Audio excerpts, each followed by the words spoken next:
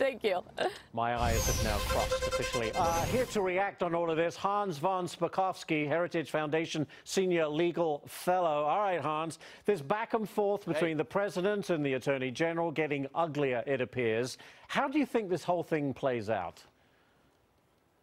Well, look, the important uh, message today, of course, was immunity given to the uh, CFO of uh, the Trump company. But I have to tell you, uh, that's only important if the testimony that he gives uh, relates to the payments that Cohen made and if those are actually violations of federal campaign finance law. And most mm. campaign experts say it wasn't a violation of the law despite uh, Cohen pleading guilty. And that's just, not just me saying it as a former commissioner on the FEC, but others, such as Brad Smith, a former chairman of the FEC, has said this is not a campaign related expense. Therefore, it wasn't a violation of the law to make that payment.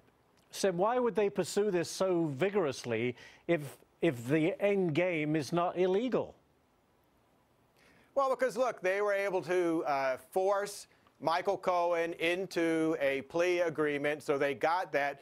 But uh, if they actually had to prosecute this case, they would probably lose. They, they've tried this once before. Remember, 2011, they tried to prosecute John Edwards, former Democratic mm -hmm. presidential candidate, arguing that his payments to a, mystery, a mistress were campaign related expenses. They lost. And two other former chairs of the Federal Election Commission at the time told the court that these were not campaign related expenses, and therefore these rules and restrictions don't apply. But when you hear the expression given, you know, granted immunity, it feels like there's something up their sleeve. They wouldn't grant it without some sort of gotcha sort of uh, uh, information. Is that a possibility?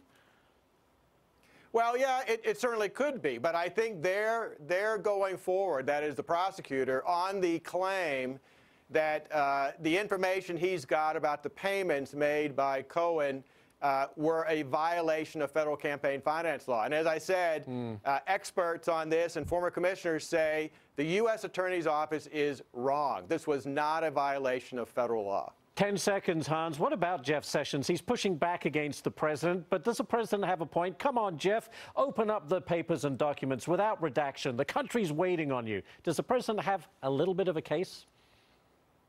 Well, I do think that all the documents that um, uh, Congress is asking for in its investigation, mm -hmm. yes, they ought to be all declassified and they ought to be all turned over to Congress. Well, we'll see if that happens. Hans uh, von Spakovsky, thank you so much, Hans.